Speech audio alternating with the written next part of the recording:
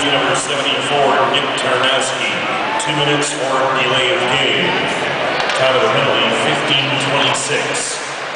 Panthers, Nick Tarnasky, two for delay of game.